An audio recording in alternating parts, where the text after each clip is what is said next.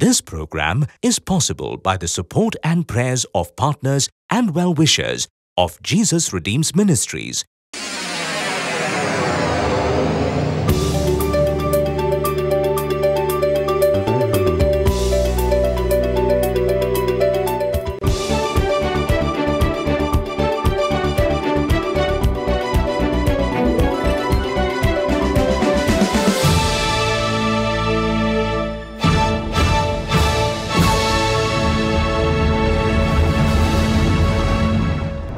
आज आपके जीवन में असफलताएँ, विफलताएँ धोखा दड़ी कितनी ही कोशिश करें, आगे नहीं बढ़ पा रहे हैं। लाख कोशिश करने के बाद भी कर्ज की समस्या दूर नहीं हो रही है। हर कोशिश के बाद भी बिज़नेस में कोई वृद्धि नहीं हो रही। सारी कोशिशों के बाद भी असफलता, धोखा। जीवन में असफलताओं के कारण टूटे हुए मन के साथ यहाँ आए हो। प्रभु यीशु कह रहे हैं कि आज तुम्हारे दुख सुख में बदल जाएँगे।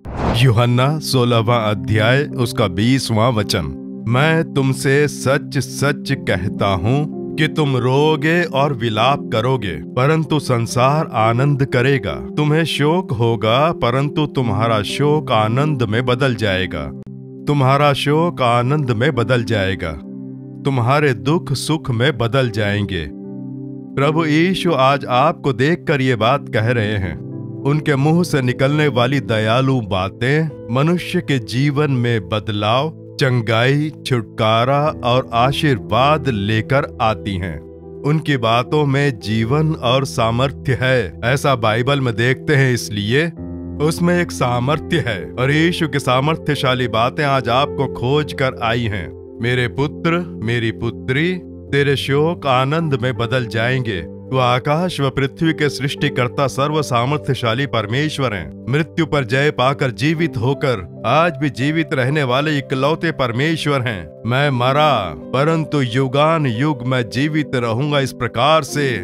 जगत में कहने वाले प्रभु केवल एक ही हैं ईशु मसीह। वो जीवित हैं ऐसा प्रकट करके अद्भुत चमत्कारी चिन्ह द्वारा साबित करते हैं और ये हम देखते आ रहे हैं। और उन्हीं जीवित ईशु के चरणों में आप आए हुए हैं। प्रभु, जब भी किसी मनुष्य को देखते हैं तो ये किस धर्म से जुड़ा है? किस जाति से जुड़ा है? कौन सी भाषा बोलता है? ऐसा कोई भेदभाव प्रभु नहीं रखते हैं, क्योंकि यीशु सभी से अपार हैं। वो सर्वलोक परमेश्वर हैं। समस्त लोगों से एक ही प्रकार का प्रेम रखकर, समस्त लोगों में सामर्थ्य और प्रेम प्रकट करके आशीर्वाद देते हैं। इसलिए यहाँ आने वाले आप चाहे कोई भी क्यों ना हो, आप ईशु से दूर रहने वाले नहीं हैं। वो आपसे प्रेम रखते हैं, इसलिए कह रहे हैं, मेरे पुत्र, तेरा शोक आनंद में बदल जाएगा। मेरी पुत्री, तेरा शोक आनंद में बदल जाएगा।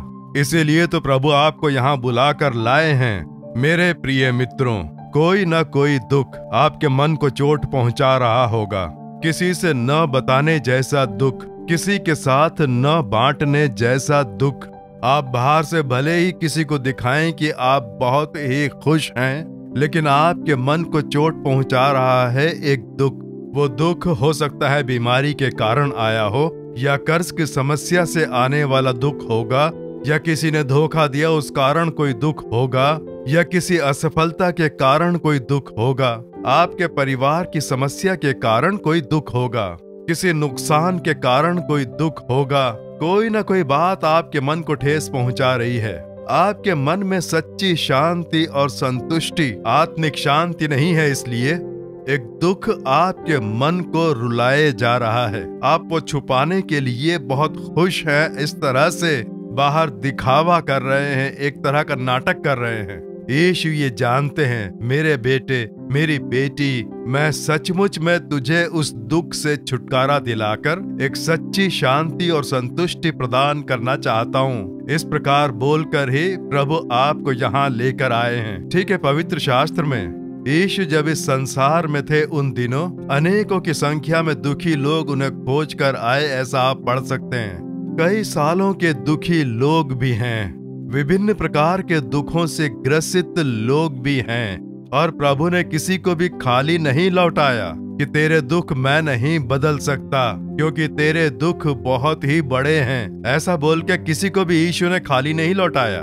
उन्हें खोज कर आने वाले हरेक के लिए चमत्कार करके उनके दुखों को सुख में बदल के उन्हें प्रसन्न किया। इस प्रकार हम पवित्र शास्त्र में विस्तार से देखते हैं। आज ऐसा ही यीशु का किया एक चमत्कार। कुछ देर के लिए पवित्र शास्त्र से ध्यान करके हम प्रार्थना करेंगे। पवित्र मरकुस रचित सुसमाचार, पांचवा अध्याय, पच्चीसवें वचन से लेकर चौतीसवें वचन तक यदि आप पढ़कर देखेंगे तो यीशु को खोज के आने वाली एक स्त्री के विषय में और उसके जीवन में किस प्रकार का दुख था उस विषय में यीशु ने कैसे उसे छुटकारा दिलाया इस घटना के विषय में विस्तार से लिखा हुआ है। उस चमत्कार की कुछ बातों का ध्यान करके हम आज प्रार्थना करने वाले हैं, क्योंकि आज आप उन्हें खोज कर आए हुए हैं। क्या मेरे दुख भी प्रभु बदलेंगे? मेरे परिवार में ये दुख दूर होकर संतुष्टि आएगी? मेरे जीवन से क्या ये दुख दूर होंगे ऐसा सोचकर आप आए होंगे? ध्यान पूर्वक इस वचन को मन में बैठा लें। ठीक है, इस चमत्कार में हुए कुछ कार्यों का हम ध्यान करेंगे। ये बारह सालों से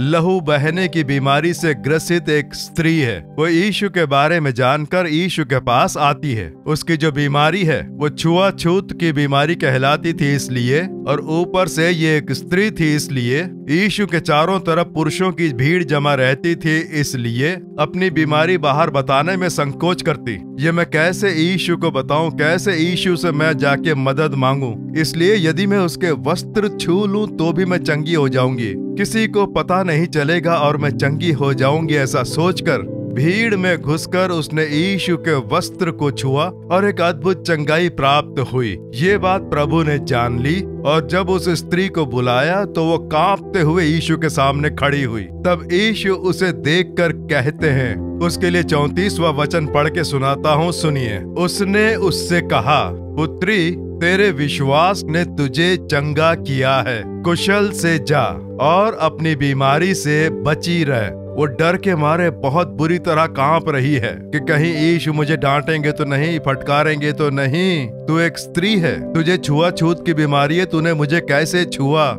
ऐसा बोल के डांटेंगे सोचकर वो खड़ी खड़ी काँप रही थी, लेकिन ईशु उसे पुत्री कह के बुलाते हैं माई डॉटर मेरी बेटी, तू क्यों डर रही है?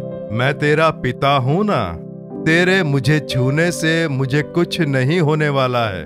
देख, तू चंगी हो गई। तू कुशल से जा और अपनी बीमारी से बची रह।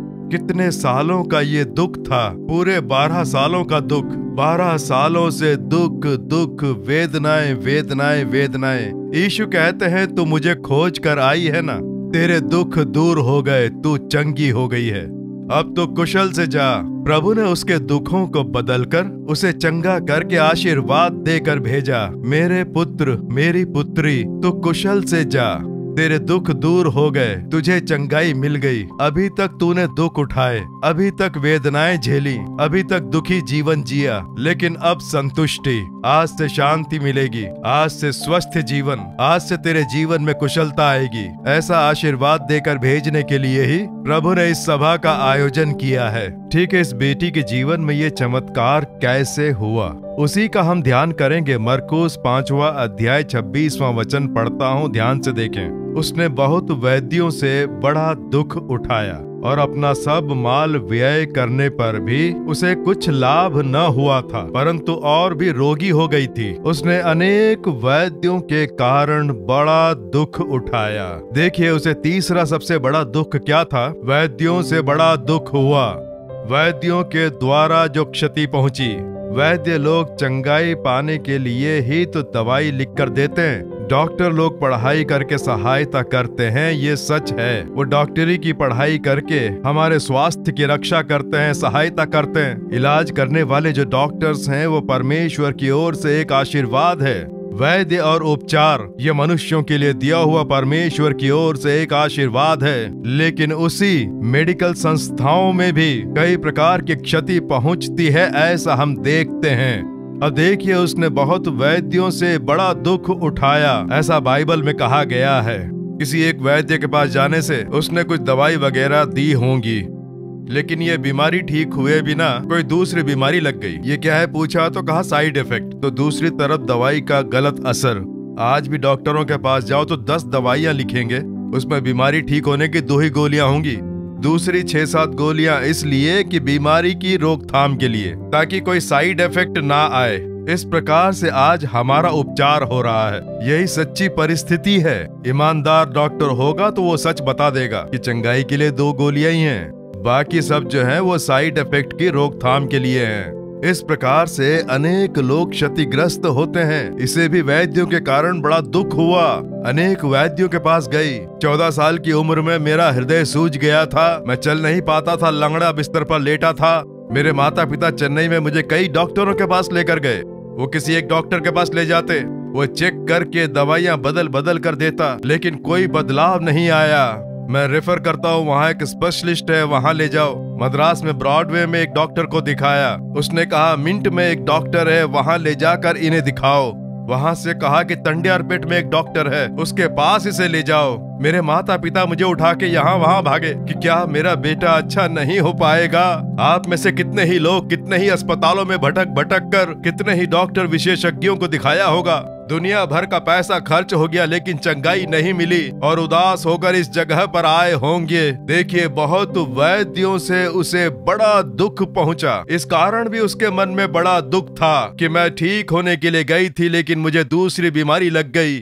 एक बार एक जान पहचान वाला मुझसे मिलने के लिए आया। उसका शरीर एकदम बदला हुआ था। बिल्कुल हाड़ पिंजर सा हो गया था। सर के बाल पूरे झड़ गए थे। पहचान में ही नहीं आ रहा था। क्या हुआ ब्रदर तुम तो एकदम अच्छे खासे थे। ये सब एकदम कैसे हो गया? उसने कहा, छोटी सी एक बीमारी आई थी। उसे ठीक करने के लिए मुझे गोलियाँ दी। मेरा स्वास्थ्य ठीक करने के लिए ही दवाई दी थी। लेकिन उससे जो साइड इफ़ेक्ट हुआ, उस कारण मेरे शरीर में एक दूसरी बीमारी आ गई। और धीरे धीरे सारा इन्फेक्शन मेरे शरीर में फैल गया और उस बीमारी से मेरा शरीर ही पूरा बदल सा गया। चंगाई मिलेगी इस भरोसे से गया। डॉक्टर ने भी इसी भरोसे के साथ दवाई दी कि मैं ठीक हो जाऊँगा, लेकिन उसके साइड इफ़ेक्ट ने मुझे दूसरी तरह से नुकसान पहुँचाया। बहुत ही दुखी होकर उसने बताया, मेरे प्रिय मित्रों, लेकिन ईशु की चंगाई से साइड इफ़ेक्ट नहीं होता है। ईशु के छूते ही परिपूर्ण चंगाई। हालेलुया! आमेन। मुझे छूते ही मेरा सूझा हुआ हृदय नॉर्मल हो गया। मैं लंगड़ा तो चल नहीं पाता था, मुझे चलाया। ईशु के छूते ही चंगाई मिल गई, लेकिन उससे साइड इफ़ेक्ट हुआ, ऐसा नहीं बोल सकते। अब देखिए, वैद्यों के द्वारा बड़ा दुख हुआ। उसने पैसा खर्च करके दूसरी बीमारियों को पाया। आज अनेक लोग इलाज के लिए पैसा खर्च करके दूसरी बीमारियाँ घर लेकर आते हैं, ऐसे लोग भी हैं। इसीलिए जब भी अस्पताल जाएँ तो प्रार्थना करके सही से गाइडेंस लेकर कार्य करें। बेकार की जगह पर बेकार के अस्पताल में बेकार के डॉक्टर के पल्ले न पड़े। ईमानदारी से, अच्छे हृदय से लोगों का इलाज करने वाले अच्छे डॉक्टरों की स्तुति हो। केवल पैसों पर ही नज़रें गड़ाकर, पैसों के लिए ही अस्पताल चलाने वाले डॉक्टरों की संख्या आज बहुत बढ़ गई है। इसलिए हर किसी पर विश्वास किए बिना जरा सावधान रहें। इसके पास से केवल पैसे खींचने में ही लगे रहे डॉक्टर। मरीज़ का क्या होगा इस बारे में नहीं सोचा। अनेक वैद्यों से इसे बड़ा दुख हुआ, ऐसा पवित्र शास्त्र का वचन कहता है। इसलिए वैद्यों के कारण इसे जो दुख पहुँचा, वो बहुत बड़ा दुख था। हो सकता है आप भी आज उसी अवस्था में आए हों। चौथी बात है, फिर से मरकुस पाँच छब्बीस पढ़ के देखें। उसने बहुत वैद्यों से बड़ा दुख उठाया और अपना सब माल व्यय करने पर भी उसे कुछ लाभ न हुआ था, परंतु और भी रोगी हो गई थी। सारे पैसे खर्च हो गए। बदल बदल कर अनेक वैद्यों को दिखाया। संपत्ति बेच दी, सारा पैसा खर्च हो गया। बस चंगाई नहीं मिली, धोखा मिला।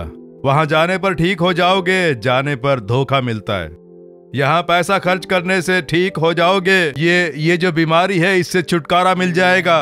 पैसे ले जाकर खर्च करके दो दिन, तीन दिन, एक हफ़्ता, दस दिन तक इलाज हुआ, पर बीमारी ठीक नहीं हुई। डॉक्टर बोल देते हैं कि हम क्या कर सकते हैं, हमसे जितना हो सकता था हमने किया। बीमारी ठीक नहीं हुई, इसमें हम क्या कर सकते हैं? ये धोखा है। सब जगह पर असफलता, धोखा। आपने अपने जीवन में धोखा खाया होगा, इसीलिए यहाँ पर आए होंगे। जितनी भी कोशिशें की, सब बेकार, सारे प्रयास असफल हो गए। व्यापार में नुकसान, वहाँ बिज़नेस करने से ठीक हो जाएगा, वहाँ भी नुकसान। यहाँ दुकान खोलने से ठीक हो जाएगा, वहाँ भी नुकसान। ये बिज़नेस करेंगे तो जीवन में आगे बढ़ सकते हैं। उसमें भी नुकसान। कोई और बिज़नेस करने से जीवन में आगे बढ़ पाएँगे। नुकसान, एक के बाद एक धोखा। नुकसान पर नुकसान। अपमान असफलता और विफलताएँ। ऐसे धोखाधड़ी के शिकार होकर आप यहाँ आए होंगे। जीवन में धोखा खाने की परिस्थिति, उस कारण एक दुखी परिस्थिति में आप यहाँ पर, मन में दुख का बोझ उठाकर आप यहाँ आए होंगे।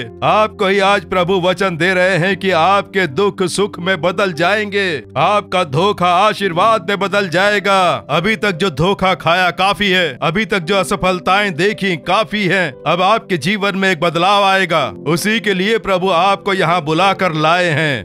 हाँ मेरे प्रिय मित्रों, वेलूर सीएमसी एक बहुत ही मशहूर अस्पताल है। वहाँ उस अस्पताल में नर्स की नौकरी करने वाली एक बहन है। उसका नाम है विमला।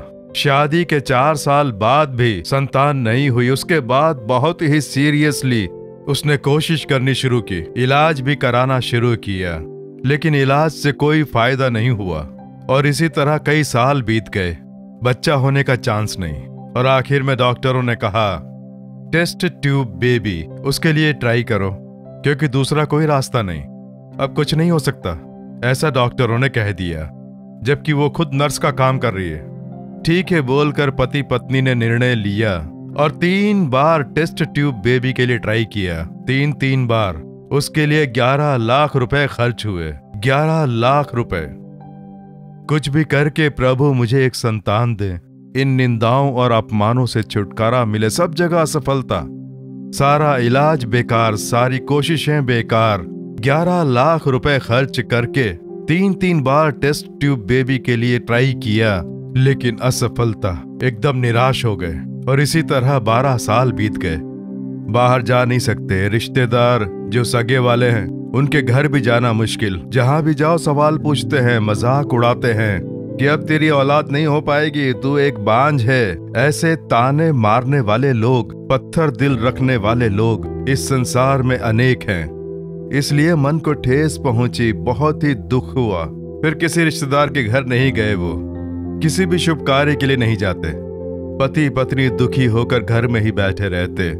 बारह सालों तक कोई संतान न हो पाने का जो दुख था, वो उनके मन में घर कर गया। सन 2013 में, नाल मावड़ी में एक प्रार्थना सभा हुई। सब कहते हैं कि यीशु से प्रार्थना करने पर चमत्कार होता है। क्यों ना एक बार हम भी जाके देखें। कितना ही इलाज, हर एक कोशिश की। 11 लाख खर्च करके असफलता, धोखा। यीशु को खोज कर वो आते हैं। भीड़ के बीच बैठकर दोनों प्रभु को देखकर आँसू बहाने लगे।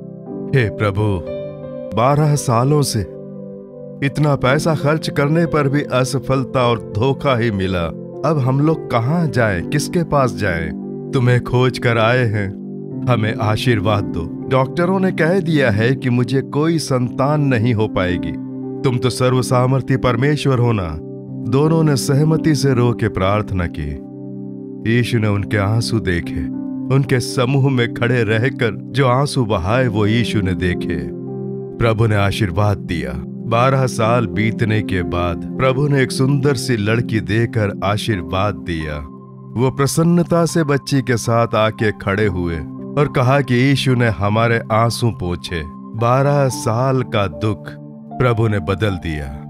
आज आपके जीवन में असफलताएँ, विफलताएँ धोखा दड़ी कितनी ही कोशिश करें, आगे नहीं बढ़ पा रहे हैं। लाख कोशिश करने के बाद भी कर्ज की समस्या दूर नहीं हो रही है। हर कोशिश के बाद भी बिज़नेस में कोई वृद्धि नहीं हो रही। सारी कोशिशों के बाद भी असफलता, धोखा। जीवन में असफलताओं के कारण टूटे हुए मन के साथ यहाँ आए हो। प्रभु ईशु कह रहे हैं कि आज तुम्हारे दुख सुख में बदल जाएँगे। मेरे प्रिय मित्रों यीशु मसीह के नाम से आपका हार्दिक स्वागत करता हूँ। यीशु बहुत ही अच्छे हैं, प्रेम रखते हैं और बहुत ही अद्भुत हैं। आपसे वो बहुत प्रेम रखते हैं। प्रभु आपको अत्यधिक चाहते हैं। आपकी सहायता करना, आपको चंगा करना, आपको वो प्रसन्न रखना चाहते हैं। बारह सालों से गर्भाशय में समस्या, लहू का बहना कितने ही वैद्यों को दिखाया, संपत्ति बेचकर सारा पैसा खर्च किया, पर चंगाई नहीं मिली। तब यीशु के बारे में कोई जानकारी देता है कि यीशु के पास जाओगी तो चंगी हो जाओगी। यीशु अनेकों को चंगा कर रहे हैं। मैं एक स्त्री हूँ। इस बीमारी को लोग अजीब तरह से देखते हैं। यीशु के चारों ओर हमेशा लोग रहते हैं। मैं कैसे जाके ये बीमारी बताऊँ? सब लोग सोचते हैं कि ये छुआछूत की बीमारी है। सब लोग मुझसे घिन करेंगे, मुझे वहाँ से भगा देंगे। अब क्या करूँ? लेकिन विश्वास है, यीशु के पास जाने से चंगी हो जाऊँगी। यीशु के पास जाते चंगी हो जाऊँगी। तो मैं कैसे उनके पास जाके चंगाई पाऊँ?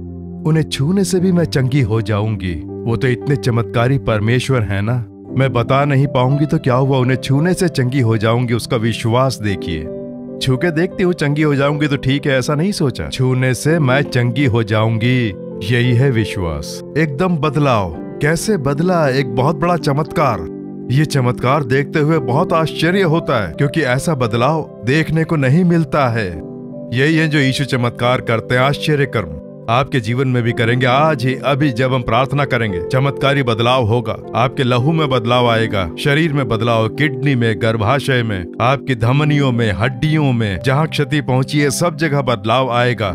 तुरंत चमत्कारी बदलाव आएगा। यीशु करेंगे और आप देखेंगे। अभी आप जहाँ हैं, अपने घर में ही प्रार्थना कर सकते हैं। यीशु आपके ही संग हैं। यीशु के वचन सुन सुनकर यीशु की प्रार्थना कर कर के उनकी उपस्थिति आपके घर में आ गई। वो आपके पास में ही है। आपको कहीं जाने की आवश्यकता नहीं, यहाँ वहाँ जाने की ज़रूरत नहीं। घर में ही रहकर कहें, यीशु, मुझे छुओ। यीशु, मुझे चंगा करो, कहना काफ़ी है। कहेंगे, प्रार्थना करें। आपके साथ मिलकर मैं भी प्रार्थना करूँ। हम साथ में प्रार्थना करेंगे, चमत्कार होगा। परम पिता, यीशु राजा, इन बच्चों के लिए तुमने क्रूस ढोया। इनके पाप, शाप, बीमारियाँ, सब कुछ तुम क्रूस पर ढो चुके हो, उसका इन्हें ध्यान कराओ पिता। इनके लिए चमत्कार करने के लिए तुमने घावों को सहा, उसका ध्यान कराओ पिता। इन बच्चों के लिए प्रार्थना कर रहा हूँ प्रभु।